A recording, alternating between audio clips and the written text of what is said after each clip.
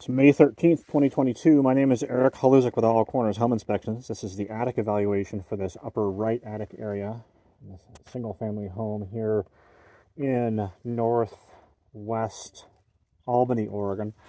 We've got uh, just one reportable condition here. Uh, we've got staining and possible organic growth at the underside of the roof sheathing, sort of a patterned uh, darkness that's uh, accumulating at the underside of the roof sheathing. We'd recommend a licensed contractor uh, with specialization in mold remediation uh, be called upon to evaluate and make uh, any sort of treatments and alterations to possibly to the attic ventilation to allow for proper ventilation of this attic space. We've also got displaced insulation at a number of locations in the attic space here as well.